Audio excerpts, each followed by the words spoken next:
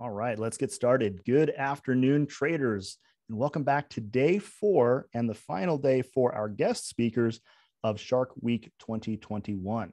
Right off the bat, let's do a quick test of audio and visual. Actually, we already did that before, so let's skip that. Um, as always, you can use your the Q&A box or the chat box to ask any questions throughout the webinar. And Rob, who is uh, a veteran of Zoom, he knows how to find your questions. He'll do his best to answer them by the end of the presentation. As always, my name is Keith here with Shark Indicators. We've been involved in the NinjaTrader ecosystem since 2011, providing tools like Bloodhound and Blackbird that help traders be more productive and in control of their own trade systems. We're always looking for ways to add to the trader's toolkit, and this webinar and Shark Week is a big part of that mission. Before I pass it off, let's take a quick look at the risk disclosure. Futures, foreign currency, and options trading contains substantial risk and is not for every investor. And past performance is not necessarily indicative of future results. So be smart and careful. Rob is president of Axiom Research and Trading Inc., the mother company to the oiltradingroom.com and indicatorsmart.com. Rob has been the largest E-mini S&P trader in the world at various times and has won the prestigious Robbins World Cup E-mini Trading Championship. He has been a trading system developer for nearly three decades. He is a proving researcher, trading system developer, trading educator, presenter, and mentor, helping others to achieve their dreams as traders. So, Rob, with that, you can unmute and share your screen. Let's get started.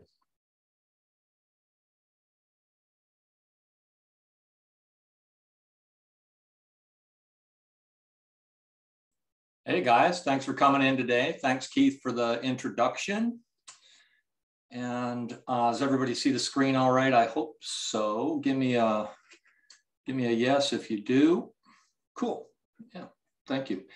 Um, yeah, so uh, we're to cover a lot of really cool stuff today. Guys, I'm to uh, build a system. This is kind of like three webinars in one, maybe more. Yeah. Um, so we're going to take some broad strokes over the whole thing. Trading system design, building, and analysis with a focus on the difference that makes a difference. I'm going to cover some things that kind of key in on uh, what's behind building a good system in alignment with what you know Keith is saying and everything. Uh, what's a you know uh, what are methods that you can use to build uh, good trading systems? Yeah. And so, um, with that being said, let's go ahead. We over, already covered the risk disclosure. I usually throw in here past performance is not necessarily indicative of future results. There's a risk of loss trading futures, but also don't use the grocery money to trade. You know. Um, at the end of the webinar today, I'm going to give you a link to important resources. You know, give you resources to go beyond what we cover here today. I'm going to cover a lot, and so you might want to take notes. Um, I've been building trading systems since 1991. You didn't even have software back then to do it. I had to use my own software and uh, built my first trading systems in a Borland Paradox database. Yeah, uh, before there was even any software to do it. And so um, come a long way. And so hopefully um, I can impart some uh, cool ideas for you today to help you in your system building. You know. Uh, some key concepts first off, yeah. Um, trading system building, including theory and application. We're going to cover what's behind uh, building a good system. And then uh, we're going to look at trading system analysis. I'm going to cover some concepts in that, just broad strokes, and integration of trading system analysis with Bloodhound and uh, how you can hone in on the difference that makes a difference in your trading. So we're going to cover aspects of trading system design that get you better success, robustness, and sustainability, concepts that are behind what makes a successful trading system work. Yeah. Um, first, we're going to build a uh, trading system. Yeah, it's one. Then we're going to export the results from Bloodhound from the system for analysis in smart trade markers. It's something that we use. I think you're going to like it. And along the way, we're going to cover some important system building analysis concepts that help you to build better systems and then the analysis. And so it's kind of like three webinars in one, theory, system building, and analysis, you know, and beyond, yeah. So what builds a good system, you know? Well, excuse me, basically, um, I break that down into four main components, four quadrants of good system trading design. And the first one, first and foremost, is price action, trend, and market structure. And that includes the bar type that you're choosing. You know, we're going to talk a little bit more about that too. Order flow and order flow momentum is category number two. Number three, momentum, meaning price momentum and support and resistance. And then there's another category I could throw in there, specialty, things that don't fit neatly into those uh, four uh, main quadrants. Yeah. Sometimes those involve feeding an indicator into another indicator that gives you information about the, the state that the indicator that you're using is in, you know, things like that. Or things like what we call market mapping, where you're actually looking at the shape that the market will take on any given day and we'll actually map that out with probabilities and everything. It's pretty cool. So first, what are the components that we're going to use and why have we chosen them? Yeah. So when building a system, we always start with a bar type, yeah? So most traders don't necessarily think about it too much. You know, they read a trading book and it's like, okay, I'm going to use a five minute bar. yeah, five minute bar or whatever they might have seen in a trading book or whatever. Yeah. So why? Yeah. Why is the bar type decision um, important? Well, because it's a decision as to the nature of the data that you're feeding into your indicators. Yeah. Some bar types are better um, than others for different kinds of applications, depending on the kind of system that you're building. Some bar types are themselves like indicators. Yeah. You can think of the bar type itself as an indicator due to the nature of its design. Yeah. So we could take an example, the five minute bar, you know, everybody, all the trading books and everything. It's very common to see five minute bars. Yeah. Well, what's the problem with a five minute bar? Well, the ranges vary all over the place and the close of the bar is random. so um, a five minute bar, you know, as I've done studies on this, it only closes at its high or low about 12% of the time. You know, so where that five minute bar closes is um, going to feed information to your uh, indicators based on where it's closing. You know, and that's important. So uh, here's here's an example of a five minute bar. So you can see that the entire range on this chart, you know, on this five minute bar, you can see the entire range on this on this chart is, and I, I didn't necessarily, you know, pick this out or anything, but just pointing out to you, there's one, two, three, four, five five minute bars um, define the entire range of the of the day, yeah, or of, of the interval that we're looking at five bars out of all the bars that are on here. Yeah, and so that's kind of interesting because what happens uh, with a time-based bar, like five-minute bar, um, it may not be related to trend a lot of the time, and at other times it may be. Um, but the basis of the bar is time. It's unrelated to trend, order flow, momentum, or support resistance. And the bar closes at random. And very often when you look at a five-minute chart, uh, if you do it the way I, I did it there, you could see, oh, well, there's just five bars that make the whole range of the day out of, you know, maybe there's 80 bars on this chart or something like that, you know. So this is a bar that we use in our trading room. Uh, it's called the Smart Super Renko. That's what I call a structured bar. That's not random. It's not random. Um, it's extremely related to market structure. That fits in our first quadrant, yeah first quadrant, price action, market structure. And the bar is related to mo uh, momentum, price momentum, and order flow momentum both because the bar always closes at its high or low. Yeah. And that's important. Another thing that you'll see, uh, you'll, you'll in this a bar like this, you'll see uh, certain patterns that'll occur. And what we've done is we've pattern classified all these uh, different uh, structures into um, known statistical profiles. Yeah, with a bar like the Smart Super Renko. And then we've got the, uh, this is the ultimate order flow bar. This bar is based on order flow momentum.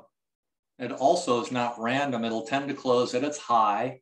You can see as it's going up, it's closing at its highs, more or less. It's closing low on a red bar, high on a green bar. Uh, but what, what a bar like this is going to do is when you feed that into your indicator, it's always going to be uh, giving you a reading that's at the extreme of the range for the interval. Yeah. Whereas the, so, you know, like the five minute bar, it's uh, could be giving you random uh, data within the uh, trend structure. Um, this bar um, and the one before the Smart Super Renko is going to feed you data at the extreme where the buying and selling pressure is its strongest. Yeah, and so that's why that's important. So bar type is an extremely important choice, yeah, and it should be related to your intent. Yeah, so if you're doing like a momentum related system, probably don't want to be using five minute bars. So today we're going to build a trend system that's based on momentum and order flow momentum. And we're going to use another indicator supporting the trend we're going to use a third component providing structural interpretation. Yeah. So of the four quadrants that we're talking about, we've got the bar, know, which is uh, price action and uh, momentum. And then um, in the momentum category, the bar also acts, like I was saying before, like an indicator. It's a momentum related bar type. And it is also an order flow momentum bar type. Yeah. And then we're going to use a third component for the structural interpretation. We're going to take wave counts. Yeah, that's essentially what we're going to do. So for this type of a system, a, moment, a momentum and order flow um, momentum based system, of those three bar types, which one might we prefer? Yeah. And the answer is the ultimate order flow bar. Yeah.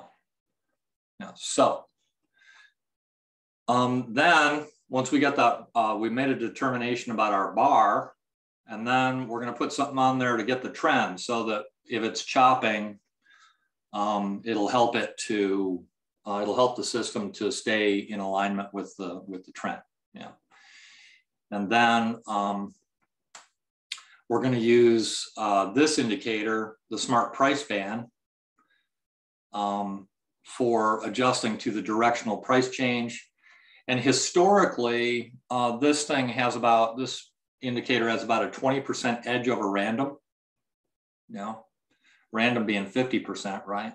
Well, it gives you, a, it adds about 20% or above random or 70% uh, as a component. So like the three components that we're using, uh, order flow and order flow momentum, trend, you know, and then structure. This thing's going to contribute about 70% to the, uh, the overall system performance yeah, of, the, of the three of them. And I think I'm going to cover, I got a little uh, a guideline for how that works. Yeah. So then we're going to add the smart one, two, three for the market structure.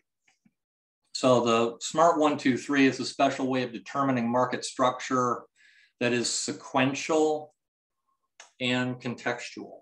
Yeah. So you get like uh, counts going higher or lower in the structure. And um, we're going to take trades with that structure that's going with the trend. Yeah. So that um, that indicator is going to track the price action trend counts in both the up and down directions according to the input specifications that we're going to use for the indicator, the parameters that we're going to use for the indicator. So the Smart 123 makes it possible to see market structure on any bar type and how to know when you do not theoretically have opposing timeframes. and I'm going to show you something um, I had put together a system for today and I had another uh, user contribute some modifications that he made to the system and then he, he sent it over to me and I loaded his file. I'm, I'm gonna uh, share that with you a little bit later um, in the webinar, yeah. so this specific area of analysis has taken, it's taken me years actually to figure this out. And the areas on the chart that are trapping or trending can be seen and counted uh, with this particular tool. You know. So of the core four quadrants, again, we got the ultimate order flow bar as order flow and order flow momentum. And then we're going to get the smart price band in there to make sure we're not chopping. And then um, the smart one, two, three is for the price action. Yeah. So of the four quadrants, we got three out of four of them going. You could make an argument that we've got four of them going, but I just chunk these order flow and order flow momentum into uh, one category on, on its own. Yeah. So three of the four. So these indicators have an edge in and of themselves, like we talked about smart price band, you know, being 20% above random or about 70%. Um, then, so if we're putting together a system with these kinds of uh, concepts behind it that we've discussed up to this point, without any optimization or special effort or you know op, you know optimizing back testing all that kind of stuff we've got three out of the four components of a well-designed trading system we should get a better than random result without trying to even improve it you know just when we code it up and so the system that we're going to do today i haven't optimized it i haven't back tested i haven't anything i just put it together on this concept as kind of a proof of concept, if you will, of how to build a trading system that's going to um, give you a, a, result because you built it structurally from the ground up based on the concepts that we're discussing. Um, it's uh, it's should have a better than random result, right?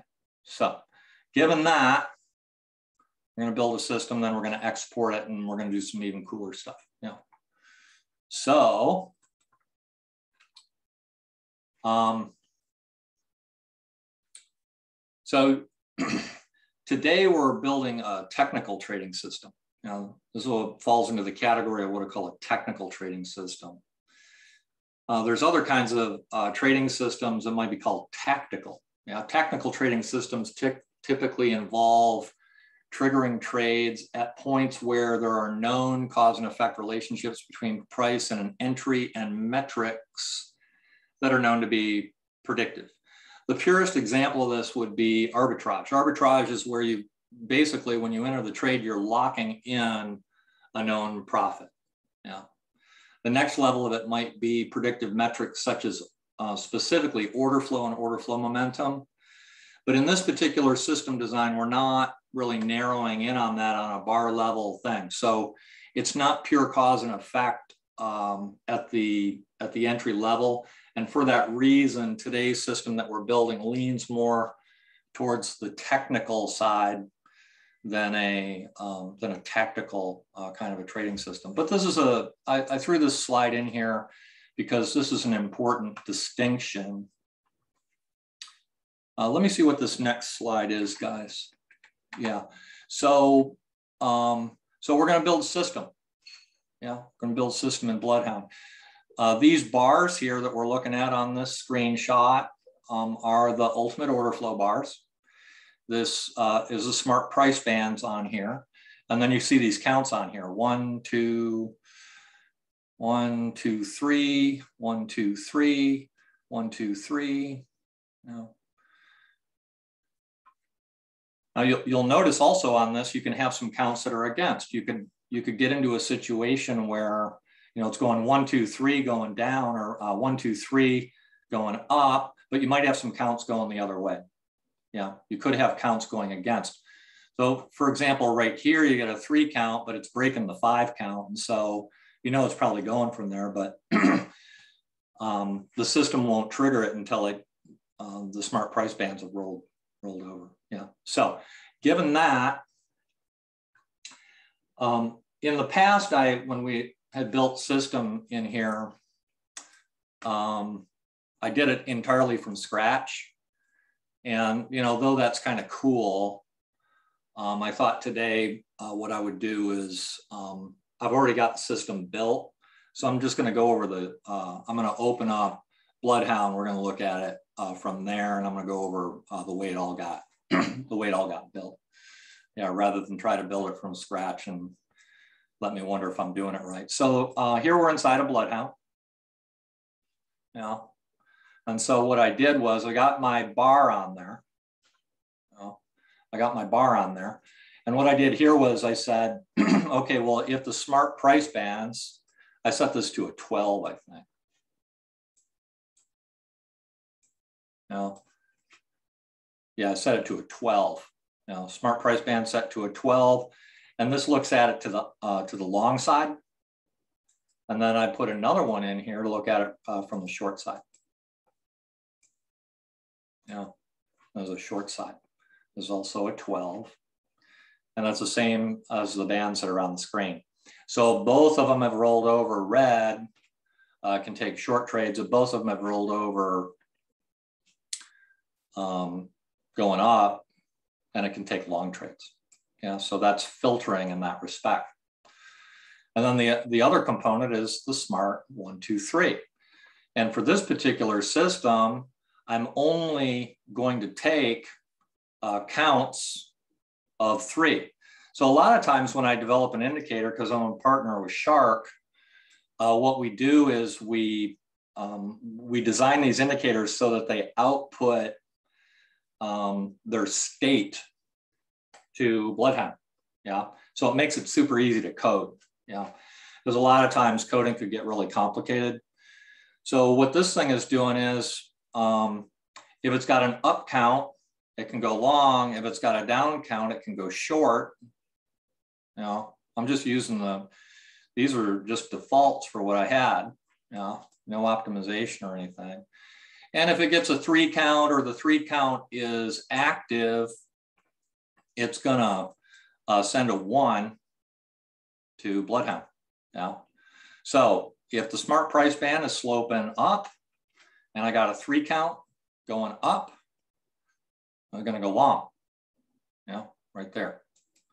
And if the smart price bands are sloping down and I got a minus three count going down, I'm gonna go short, yeah. And then all those go together, the and condition, yeah. So if the smart price band is sloping up, that's this one, and I got a three count going up, I'm gonna go long. If the smart price band is sloping down, and I got a negative three count going down, I'm gonna go short. Yeah, that's the whole system. Nothing more, nothing less. Simplest thing in the world. Now, I'd mentioned earlier, I've been building trading systems since 1991. I have never seen, it can happen, but I've never seen a trading system that was super complex that really worked that well. Yeah. And so there's a lot to be said for simplicity. But further yet still, back to the same point that we already discussed, um, there's a lot to be said for designing from the ground up, the way we've done this discussion. Yeah. Now, this is the whole system. You know? Now,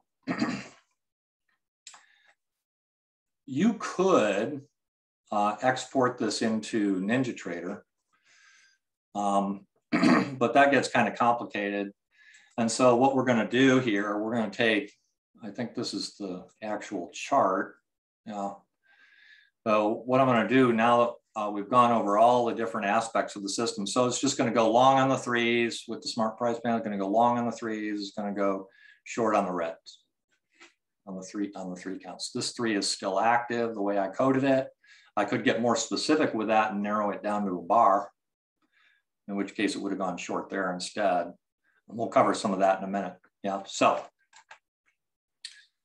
But uh, instead of trying to look at that in uh, NinjaTrader, uh, we're going to export that to a program that we use called uh, Trade Markers for analysis and discussion. You know, And then we're also going to cover how to change your parameters quickly for further analysis. So but before we do that, what's trade markers? So we do a lot of um, intraday trading in the trading room, and we narrow the trading down to a highly specific uh, things that have uh, highly specific probabilities associated with them. Yeah. And so trade markers originally, uh, what it enabled us to do is to just to simply mark the trades on the chart. Yeah. Just to mark the trades on the chart. So like I could go into, um, I could go into uh, here and I could just take all those red, I could take the red one and I could, um, I could um, uh, mark it. Yeah. Or a red one, I could mark it. Now this, this would roll over. Yeah. Uh, take the, um, the red one and I could mark it. Yeah. I could mark it. Yeah. Like that. And then I could uh, pull that up and open that up. And I can uh, get my result right there. Yeah, I can put the name of the system in there. Okay, I got ultimate order flow bar uh, with uh, smart price band and um, and uh, three count. Yeah. Now what's cool about that is that um, is that I can uh, then do uh, my statistics on that. I can see my trades. If I want to see a specific trade, say I want to see a trade that was a loser, I can click that and it'll just go, it'll go right to the trade. So like if I want to analyze things that were losers, I can just pop to any point on the, on the chart. Oh, I want to look at that one. Oh, there it is. Yeah. Oh, I want to look at that one. Yeah, there it is. Yeah. So um, I can look at the uh, group trades with all, there's three contracts in this. I can look at the overall uh, statistics for the whole system. Um, I can break it down by um, uh, the day. I can break it down by the uh, hour of the day. You know, I could go in and say, well, you know, are there certain times of the day this doesn't work so well? You know, and I could go back and uh, click the buttons that we did before. But on these advanced options, what I have here is the capability of actually loading the trades directly out of uh, Bloodhound. Yeah. Unload the trades directly out of Bloodhound and just say add the entries from Bloodhound. I could also add the exits from Bloodhound. Yeah, pretty cool, yeah. Further still, and this uh, connects, you know, I told you I was working with a another user earlier. I'd sent him the code for this system, and he came back and he gave me um, uh, this uh, system with some modifications that he had made. So he can actually send that over to me in a file, and I can actually load that up and look at his exact system using the exact same uh, things with the parameters and the uh, changes that he had made. I, that'll go across any time frame anywhere on the planet. You know, it's pretty cool. So uh, this particular system, uh, as we've done it, just ultimate order flow bar with smart price band and a three count. Like I said, it's not a technical, it's not a tactical system. It's not trying to be that tight on it. It's just trying to catch uh, trends. So uh, this panel over here shows me what I'm doing with my contracts. You know, I have uh, three lot and it takes off uh, one at five ticks, one at uh, 10 ticks, and one at 20 ticks. Yeah, you got a 20 tick stop. So I can immediately uh, go in here and I can say, well, uh, what'll happen? I'm at 69.53. This panel over here is the summary. Yeah, it shows me I took 313 trades. And um, that first leg uh, was 86% win rate.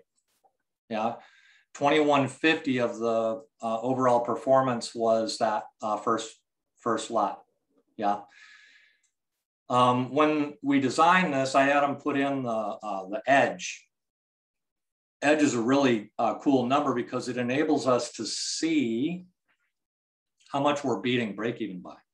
I had a $4.40 commission on here and we're beating break even by 6% for the first lot. For the second lot, we're beating it by 9%. And then we see we got a little bit of a drop there on that 20 tick. So maybe I wanna uh, try that out at 15 ticks instead of 20 and see, I'm at 69.53 and I wanna see, and I'm 86.76.54 and I just recalc that. Yeah. Ooh, I jumped to uh, 86.40 when I did that. Yeah. Uh, what if I wanted to make the stop a little bit smaller? I wanted to try a 16 tick stop. We're at 86.40. Oh, shoot, man, that didn't change it very much. Yeah. Expectancy is about 72 ticks per campaign for the three lots overall. Profit factor about 1.67. Maximum favorable excursion due to the targets, about $95 for median uh, favorable. Um, And then uh, it shows me what my adverse excursion is.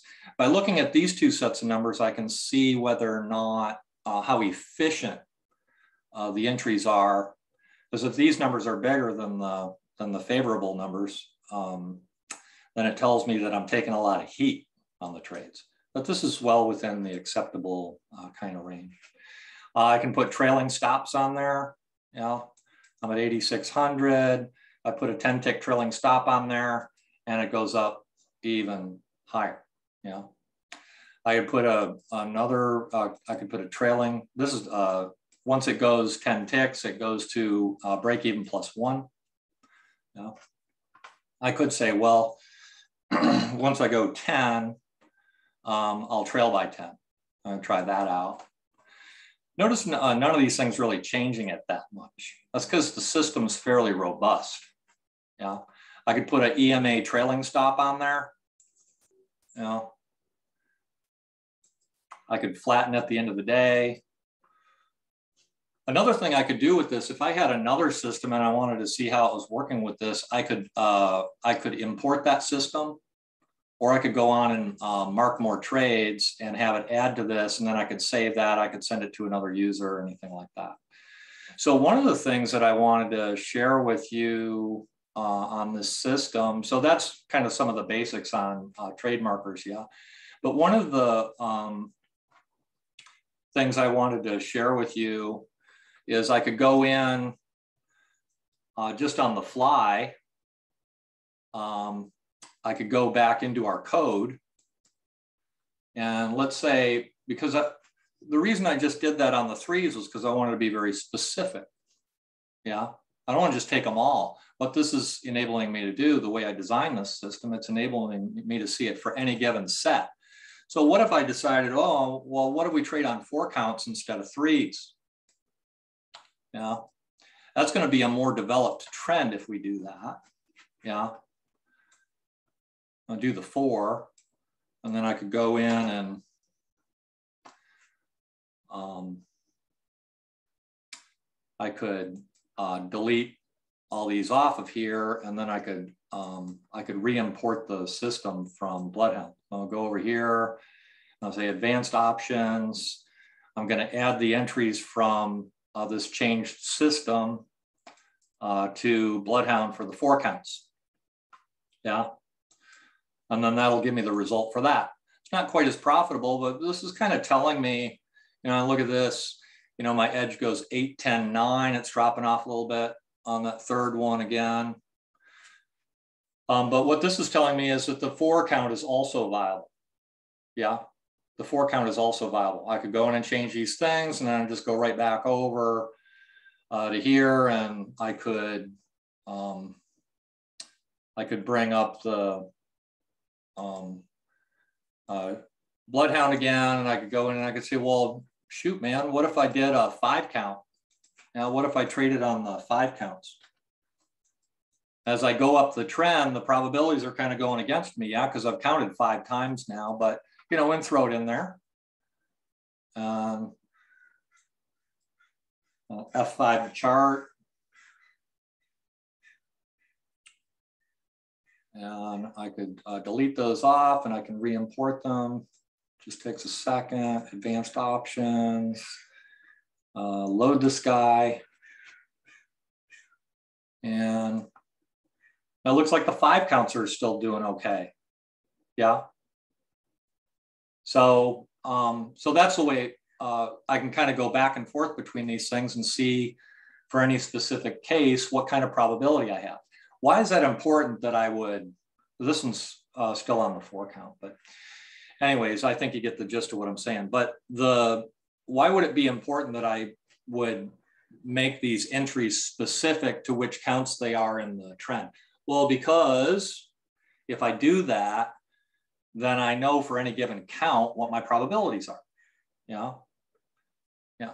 And so when I do that, I can start getting into things that we call probability stacking.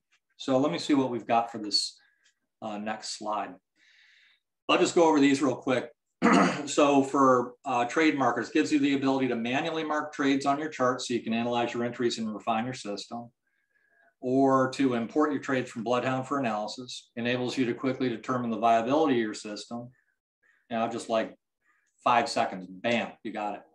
You know, unless you load like, you know, 90 days on the chart on a bar that generates a lot of bars and it might take a little bit longer, but uh, enables you to establish a probability for your system for use in probability stacking. Now, I want to tell you, uh, there is a there is a, uh, a method called Bayes theorem. Bayes theorem. So if I have an independent um, entry that I've coded, then the probability for that entry to say five ticks is 84%, then I know that, you know, we covered earlier, okay, well, the smart price band has given us 70, yeah.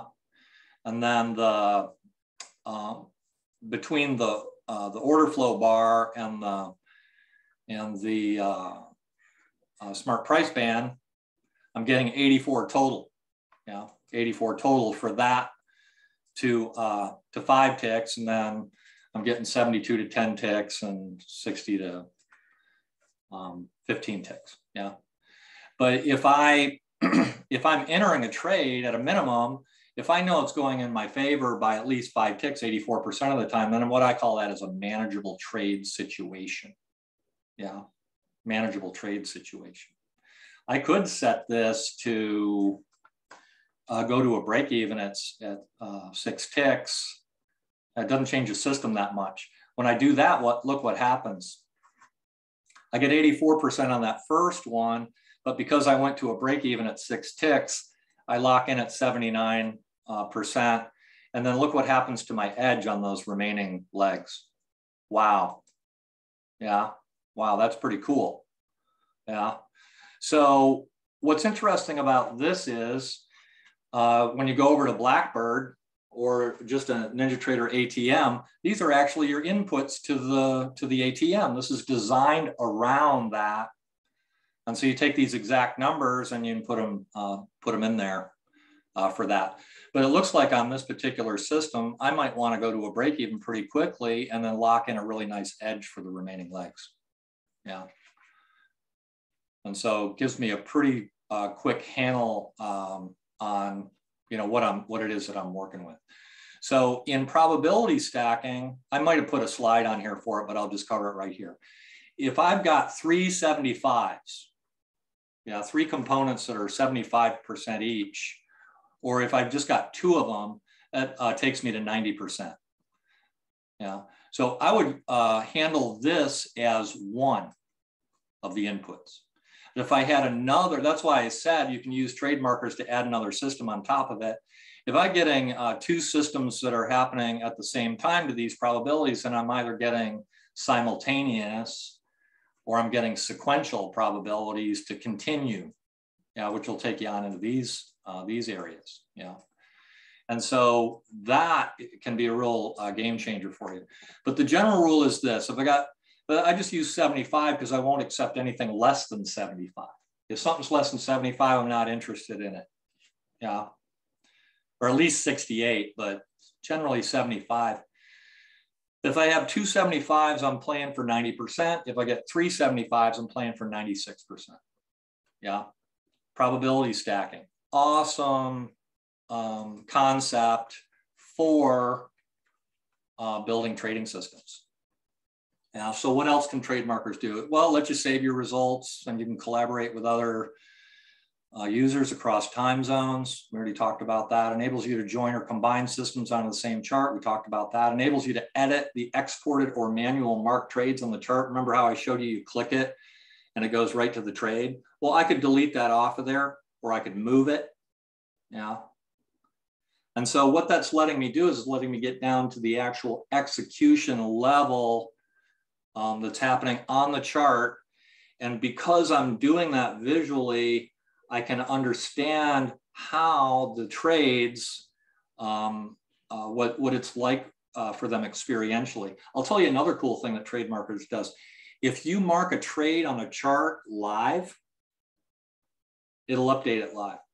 Now, I love that feature of it. So you can paper trade with trade markers with your system in Bloodhound, either, either uh, with it in Bloodhound using um, you know, automation within Bloodhound, but you can also manually mark it on the chart and it'll carry your trade through and show you uh, uh, how it uh, how it behaved uh, live.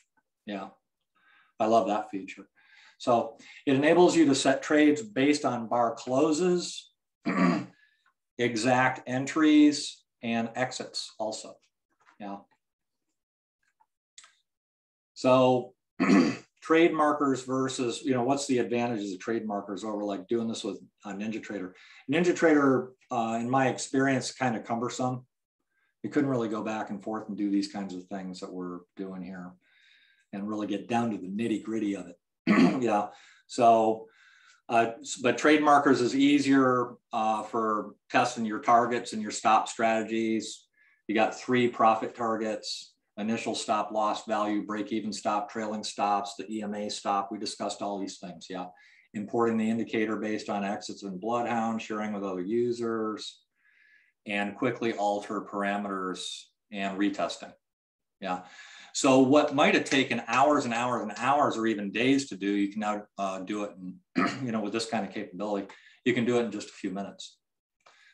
So um, this kind of a working environment, it lets you analyze countless factors when adding and removing trade entries, exits based on all that information.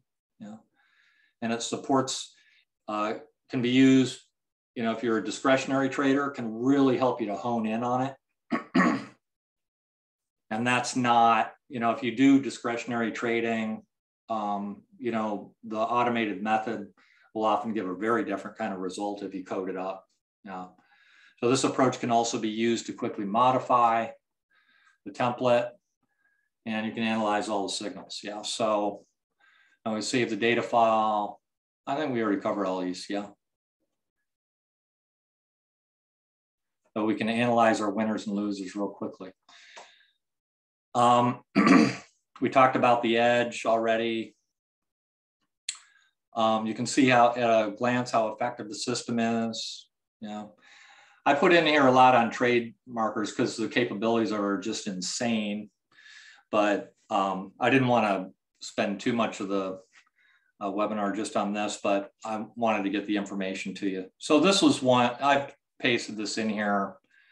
Uh, maybe this was uh, yesterday. This is one of the variations uh, of, of the system that we just looked at with the 20 tick stop and everything. We honed this into some better values, yeah. Um, so if your result is good, you can use a method uh, with other methods. We talked about that. Yeah. And this is, I'm summing up a Bayes theorem right here, 75% win rate. And you have another system that's happening at the same point on the chart. That's 90, 90%. If you add a third one, it's 96%. If you add a fourth one, you're up to 99% theoretical win rate. Yeah. This is called Bayes theorem.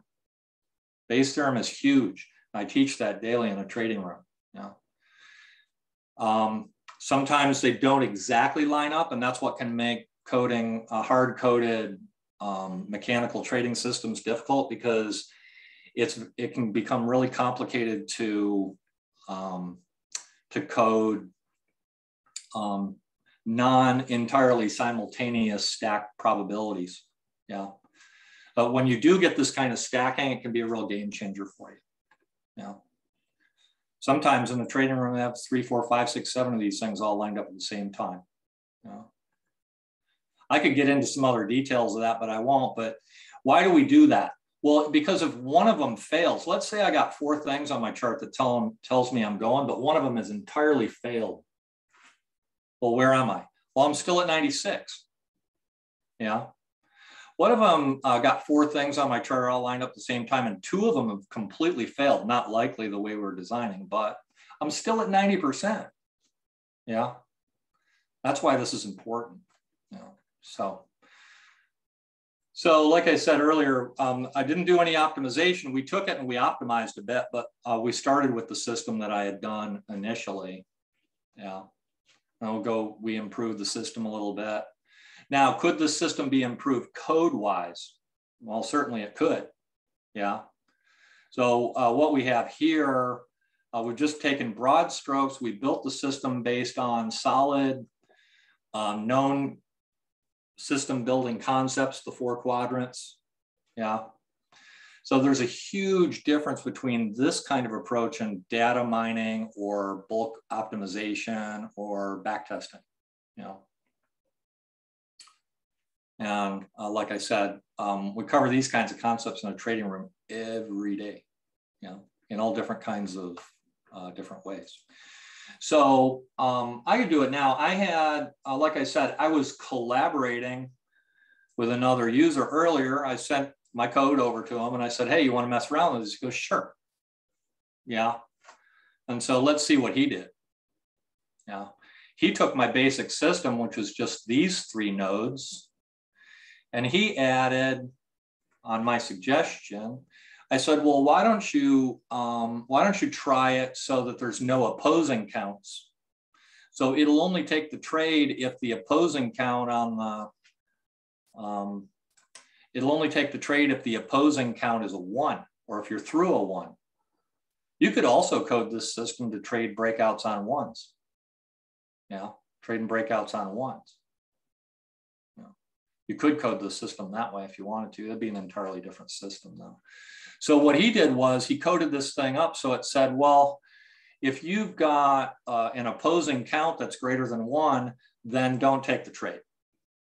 And then the other one he did, I'd mentioned this earlier, said, okay, well, I'm only gonna do it on reversal bars so I don't, because if you notice that first system, we had some that fired after the after the trigger, because like if the smart price band changed, it would get into the trade, you know, theoretically late. So he put this filter on there. And let's take a look. He sent that file over to me. How did he send the file over to me? Um, he sent the file over to me here, and I just loaded it. I load trade marker and settings. So let's see what kind of result uh, he got uh, with doing some of his refinements. Yeah. Um, he got this thing up to 85%. Uh, he was using a 20 tick stop. What would happen? We could let's take the the break even stop off. Add uh, the break even stop's contributing a good bit, so we probably want to keep that. What if we drop this guy down to 16 ticks for the stop? 7,800 got a little bit better. What if we drop it down to 12? Now that cuts the um, performance about 40%. So I don't want to go smaller than 16 we could get into a big discussion about stops, but um, that might be a little bit uh, beyond what we want to do. Uh, break even stop at 10 ticks, oh, 9100 by not taking the opposing counts. Now, going back to the original concept, would I expect that the system would perform better where I have opposing counts? And the answer is yes, I would, because if I've got opposing counts, it means I'm what? Chopping. Yeah, I'm chopping. What if we drop this down to a break even at six, like we did with the other one? Uh, drops it a lot. So when you're doing the opposing counts, you want to give it some uh, some breathing room. You know, does that make sense? Oh, sure it does. Yeah. So we could call this one uh, ultimate order flow bars, uh, smart price band, smart one, two, three, and no opposing. Now we could go into his parameters and mess around with them and do different kinds of opposing counts and all that kind of stuff. But I think you get the gist of of uh, what we're uh, what we're dealing with here. Yeah. Yeah. So um, let's see what else I got here for you. So everything that we discussed so far, yeah, can be used to achieve results like you know what we're seeing here without optimization or any of that kind of stuff really you know based on a good solid design. So that was the number one point i wanted to get. Base your system design on good principles of the four quadrants. Teach that in your trading room daily. And throw that stuff into trade markers so you can get down to the execution level analysis going back and forth a couple few times. You know pretty much instantly whether or not it's viable. It should be viable. So if it's not viable, maybe you know something's wrong, or something's wrong with the way you're thinking. So it's a great teaching tool as well because it's feeding back to you what works. You know, you know. Think a lot of times uh, with this kind of a setup, you can do in minutes. I had uh, one guy got uh, trade markers a while back, and he came back and he goes, "Wow, what used to take me days to do, I can now do in minutes." You know, but what's another key point with trade markers? It, let, it lets you test the way you trade. That's no small thing. You should always be trading the way you've tested, you know? Because if you're not, you're kind of going off the rails, yeah? You're on tilt, you know? So when you're trading, you want to make sure you're getting the execution that's the system's based on. Now with a system like this, where it goes, you know, 15, 20 ticks or whatever, it's not as critical. But on some kind of systems, it might be more critical. And by looking at the results, you can kind of tell. Yeah. I'd mentioned this too. You can use trade markers to trade live. You click it live. And at the end of the day, you can check all your trades. Yeah. Awesome way of sim trading. And it gives you full statistics at the end of the day. You're like, how did I do today? Boom. Click the button, there it is. So, so let's uh, kind of do a little review here, yeah? So we've covered system building theory and application of the four main, main quadrants. We didn't use the support resistance quadrant. We could throw that into the equation, but this um, support resistance, that's a whole nother topic, yeah? Support resistance, um, I consider those kinds of things to be pulling and there's certain kinds of support resistance. There's support resistance where the probability of it going to it is increasing as you go. And there's other kinds of support and resistance that are decreasing as you go. That's an important distinction, yeah. Because if you've got accelerating probability as you go, um, you know you can possibly, um, your, your chances of holding out uh, for a target are increasing. Yeah, especially if you've got signals that are stacking on the way. Yeah. So we've covered building a basic trading system in Bloodhound. We exported the results for analysis. We covered how to use your research to stack with other systems. And because of the, you know, this little one hour webinar here, I can't cover everything.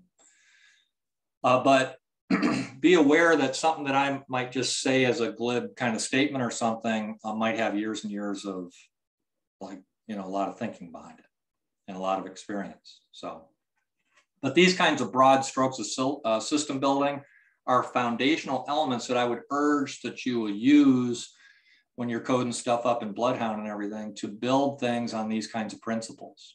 And I cover these kinds of concepts in the trading room daily because my career, my life, you know, I've, I've been very blessed to live the life of a trader, I have a lot of uh, freedom, uh, another thing about all these tools is I didn't develop the tools to sell them. I developed the tools because I'm using them. Yeah. But then what's cool is because we have a trading room, people ask me questions. You know, a lot of times the simplest question on the trading room turns into amazing things. You know, and so, um, but a day doesn't go by where I'm not learning something. You know, I can't think of a single day. So there's a lot of other patterns that we teach and um, mainly in the trading room, like I said, we use the, uh, the Smart Super Renko. Yeah.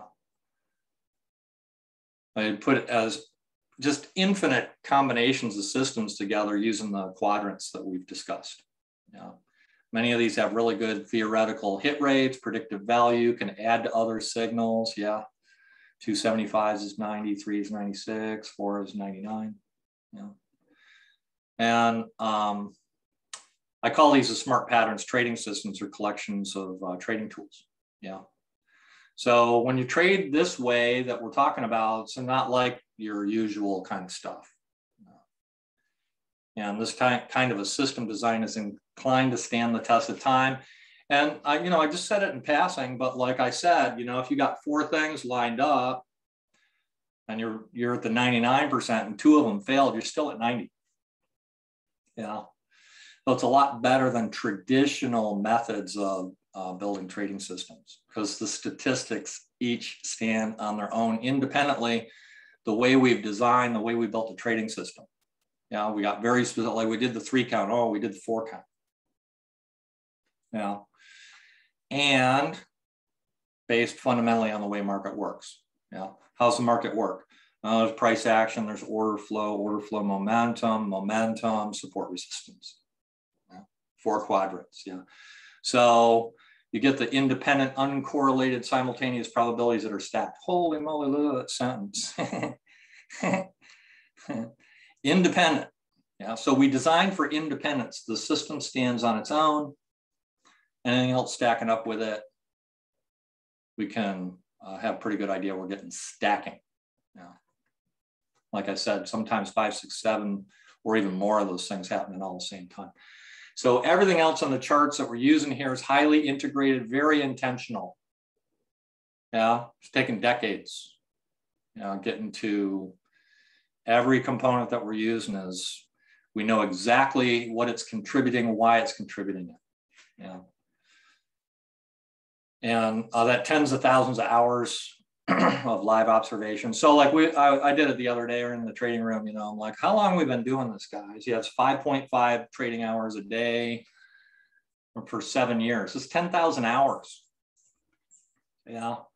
But then you get uh, members uh, contributing. They've spent 10,000 10, hours and everybody spent 10,000 hours. And um, it's really uh, been amazing the the leap in knowledge that we've had even in the last six months is uh, is pretty astounding. Yeah, that's my opinion. So, uh, summing up, markets fundamentally oriented around certain structural quadrants, patterns and order flow, momentum, price action, support, resistance align with these principles. Why? Because they're fundamental. When they align, you tend to get follow through and stacking. Just that simple. Like everything is like on this page. Yeah. The methods fundamentally exploit what is likely to occur entirely based on the way the market moves and works. Yeah. So if uh, what I'm talking about today, um, you know, if you're like, wow, that's pretty cool. I want to learn more about that. Well, consider joining a trading room. You know, I'll, I'll give you a resources page in a few minutes. Got some cool stuff on there. Um, so oil trading room is a live application. There's all kinds of training and, um, and stuff that we have in there. Um, but we think it's the best way to learn and advance your skills because it's a live trading environment. And we're talk talking about everything contextually. Like when the market's really choppy, you know, can be a lot more difficult to read these kinds of things than when it's trending cleanly, when you've got clean market structure and everything else. So there's some recent comments uh, from users in the trading room. You know, uh, you can see that on the oil trading room uh, website. I'm going to give you a link for that in a minute. We're in the process of uh, rebuilding our website, uh, like um, just like been redoing everything. And we have a lot of really cool new products, developments, upgrades. Um, so this whole uh, thing, I'm going to get to your questions in a minute, guys. But so check this out, guys. Um, when we first started converting to NinjaTrader 8, um, I paid a programmer a bunch of money to convert the indicators. Well, NinjaTrader 8, let's talk about NinjaTrader 8 just for a moment. The capabilities within NinjaTrader 8 are utterly staggering. utterly staggering. So it took, it actually took me four years to convert our indi indicators from NinjaTrader 7 to NinjaTrader 8.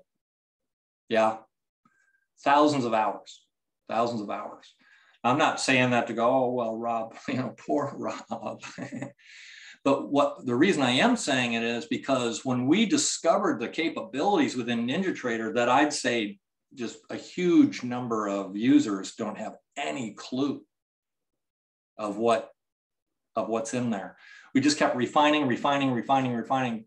Keith asked me when when we met up to do the webinar today. He goes, "What have you been doing?" I'm like, "Well, I haven't done hardly any webinars for like several years because like 100% of my um, of my uh, uh, focus has been in the development of, of, of the tools. Yeah, but we finally got the NinjaTrader 8 conversion all uh, wrapped up uh, a couple weeks ago. And so um, uh, the new website's going to go live hopefully in the next few days. Um, pretty much everything on there is in order. And so I'm going to give you like a sneak preview of the new site today. Yeah, it's still on the staging site, but it's entirely functional. And so uh, the way you get there, if you go to indicator smart backslash S123 for smart 123, that will um, that'll take you to uh, the new website. Yeah. But specifically, it'll take you to a resources page. It, it shows you, well, what are the indicators we use today? You can learn a little bit about those if you want to. Uh, there's a, a, a, file I put on there for uh, smart trade markers. It has like all the different, uh, you know, like bullet points in there down towards the bottom of the page. And um, uh, then there's some other uh, resources in there for you. Um, but if, you know, if you like, uh, you know, if you like the kinds of thinking that's going on in today's webinar, um, join the trading room. And um, and you might also, if you like the content that we did today, um, if you go to Oil Trading Room and you go to social, go join the YouTube channel, and that way, when we post uh, uh, videos and stuff, you'll you'll get them automatically. Yeah, yeah. And then there's another um, link on the on the websites where you can get on our mailing list and stuff. Yeah, uh, if you want to be informed when there's events and things like that. Yeah, so. Uh, but uh, the link is indicatorsmart.com backslash S123. And that takes you into the new website and everything that's in there. Yeah. So uh, don't use that staging. You don't have to use the staging one. Uh, let me go back up. Oh, that's not going to let me add it. I can add it from over here. Yeah. You don't have to do staging, just indicatorsmart.com backslash 123. And then um, thank you. Yeah. Thanks for coming in and giving me an opportunity to share a little bit about what I do um, and what I uh, love doing. Yeah. So uh, that being said, well, here's here's so Greg is asking, hey Rob, do you do you call your trade entries and exits live in the trading room? So here's the thing, Greg. Um, we just uh, discussed um, for an hour uh, how we have these structural things. What I'm doing in a trading room is I'm pointing out all those things happening on the charts.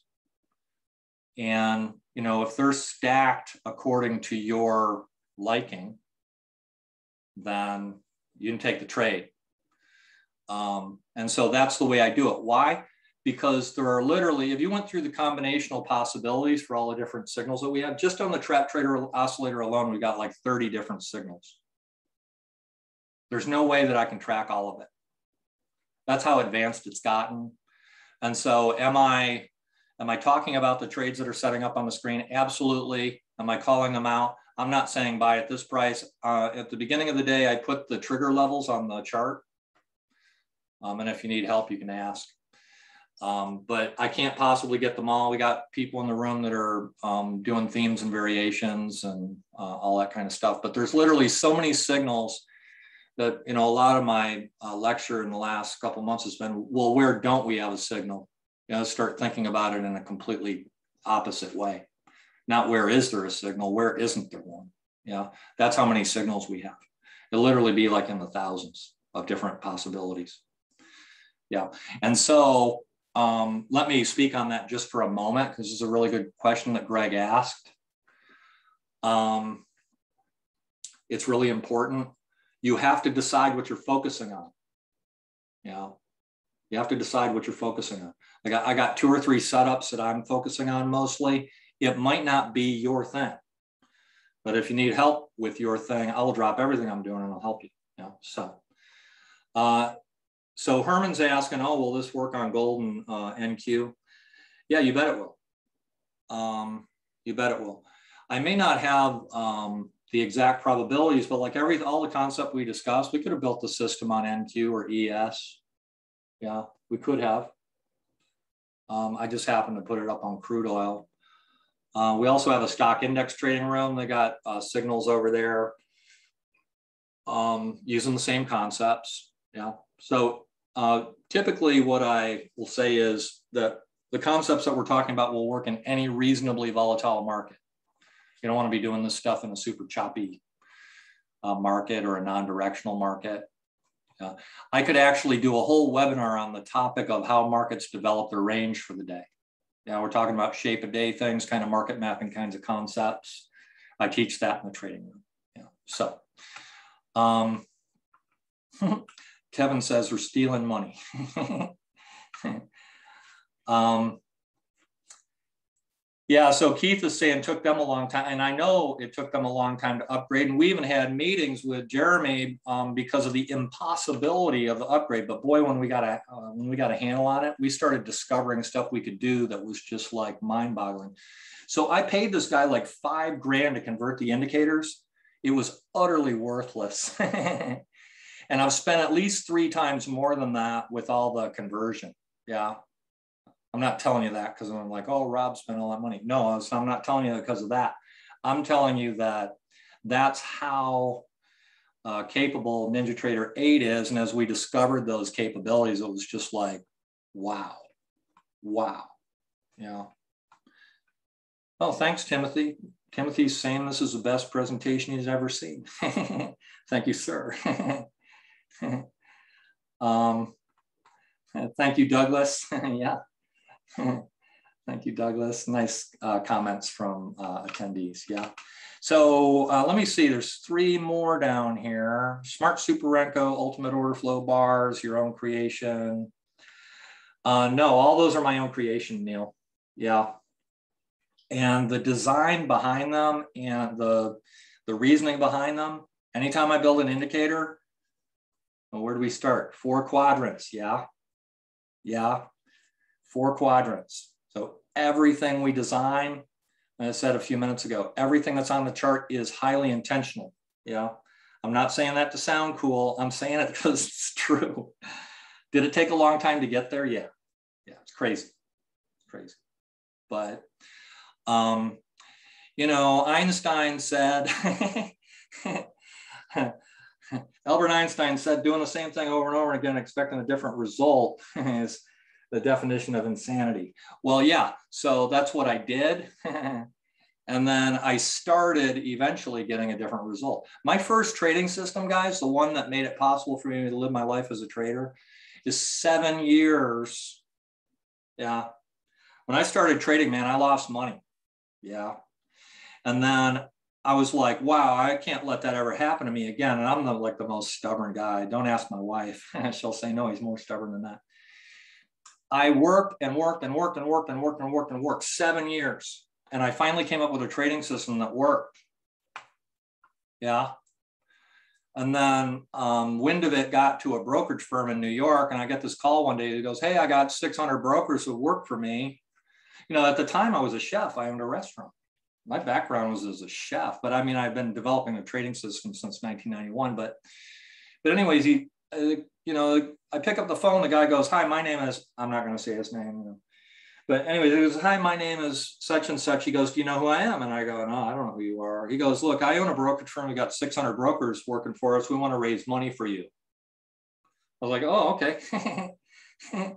well, the next thing I know, there's more money coming in, money flying all over the place. I got no you know, I mean, okay, uh, hand in your knife and your tongs, and and now you're now you're a commodity trading advisor.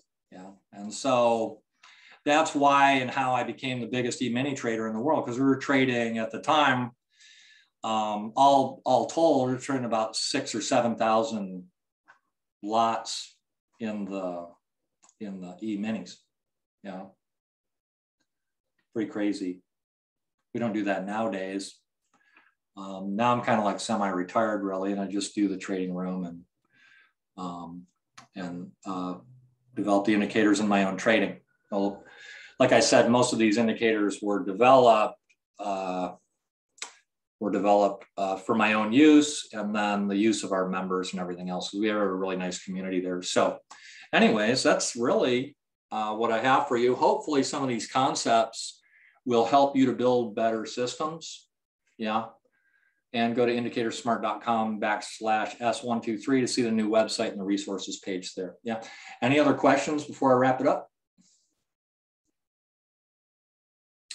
Oh, trading room hours uh, be run from uh, about 8.55 uh, New York time until what, 2.30 New York time daily? Yeah. Yeah, Kevin's saying seven years in the trading room. We got uh, we got members have been there since day one, and it's been a journey. Yeah. Uh, Kevin's saying seven years in the trading room, making a living now doing it.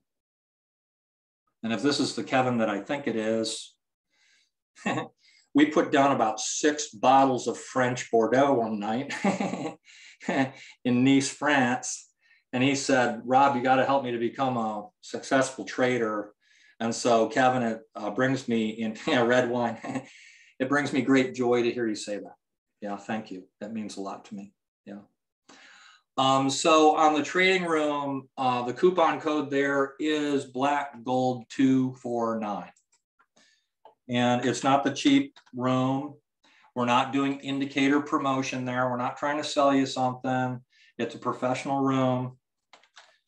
And uh, so, you know, I charge a little bit more keep riffraff out. Don't mean to put it in a rude way, but um, our community is not huge there, and that's intentional. Yeah, but use uh, a coupon code, code BLACK gold 249 at the oil trading room. And uh, the video there, I'll tell you that too. But yeah, so all right, guys, if that's what you got, I'm going to hand it back over to Keith. Keith, thanks for having me today. And thanks everybody for sharing a little bit of your afternoon. Um, a little bit of your afternoon uh, with me and let me share what I do and what I love. Yeah. Okay. Thank you, Keith. Great, Rob. Thank you so much. Yeah, it's um, I had to step away for a few minutes there, and I come back to all these compliments. you know, Douglas uh, right at the end has said, uh, you know, the trading room, I assume is what he's talking about, is worth a million times more than you charge. Um, yeah, just compliment after compliment. This is the the best uh, presentation I've ever seen. um, yeah, Doug. Uh, yeah, yeah. I, I, think Doug was um, talking or referring back to yesterday when I mentioned that you're going to be probably covering more meat and potatoes um, for our final guest uh, speaker this week, and he definitely agrees. That's that's what what he got. So really glad that um, that you're you're um, very consistently uh, providing great great value um, for for any audience that you talk to. So that's that's really awesome. I'm, I'm glad people were able to to enjoy that. Um, all right, guys, we're we're heading towards the final presentation. Um, if you've been in previous Shark Weeks, you know that it is us. It is Shark Indicators presenting on the final day, Lucky Friday the 13th. So we'll see how that goes. Um, it is for, in my opinion, if you're going to come back tomorrow or thinking about it, it is for three different types of people. So, first of all, current Bloodhound owners. Um, the bulk of what we're going to be talking about is actually a sneak peek at upcoming changes. So it's actually going to be the most substantive visual change. Um, this is just a little sneak peek uh, before the sneak peek. It's going to be a, the most substantive visual change we've ever made to any of our products. Um, Bloodhound, I, I, he, he gave me a rundown. I don't remember the details exactly, but the entire Bloodhound interface is going to look different sometime in the coming months once we get it up to our standards. So that'll be a nice preview of what you're going to see. Uh, the second type of person is interested buyers. Um, if you've been in, in our world, you know this very well. We don't discount our products um, basically ever, except for Shark Week and Black Friday. So we're not one of those that are constantly offering discounts everywhere we go. We already have great prices by industry standards. And, and you know that if you've been in our world. So if you are interested or thinking about buying Bloodhound or Blackbird or anything we sell, tomorrow is a great time to come in and see what we have to offer. Um, and then also, if you're just curious about Shark Indicator's backstory um, and Jeremy's backstory, Jeremy is the CEO, he's the founder, he's the programmer of just about everything we built, almost everything. Um, and so if you're kind of curious about uh, kind of what got him into this in 2011 and, and, you know, our origin story, uh, and you just want to hang out, ask questions, shoot the shit, you know, whatever, um, just come on back in. And uh, uh, we're just looking forward to closing this out uh, really strong. So, anyway, thanks a lot, guys. Rob, unless you have anything else for us, me, the audience, um, we will bid you a good evening. All right. Thanks, guys. Have a good night. Bye bye.